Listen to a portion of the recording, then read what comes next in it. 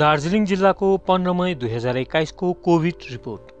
आजको जम्मा केसेस चार सय चौरानब्बे जसमध्ये सिलगढी नगर निगम क्षेत्रबाट दुई सय एकचालिस दार्जिलिङ नगरपालिका क्षेत्रबाट चौध सुकुना खण्डबाट छ खरसाङ नगरपालिका क्षेत्रबाट दस मिरिक खण्डबाट बाइस मिरिक नगरपालिका क्षेत्रबाट छ बिजनबारी खण्डबाट उन्नाइस सुकेपोखरी खण्डबाट पाँच थग्दा खण्डबाट सात खारीबारी खण्डबाट पाँच मतिगडा खण्डबाट अन्ठानब्बे नक्सलबाडी खण्डबाट पचपन्न फाँसीदेवा खण्डबाट छ जम्मा तिन सय सोह्र केसेस एसएमसीबाट छन् जसमा जलपाइगुडीको भाग पनि समावेश छ।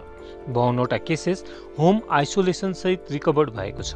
यो डिस्चार्ज फिगर निजी अस्पताल अनि डिफेन्स प्रतिष्ठानहरूबाट समावेश गरिएको छैन।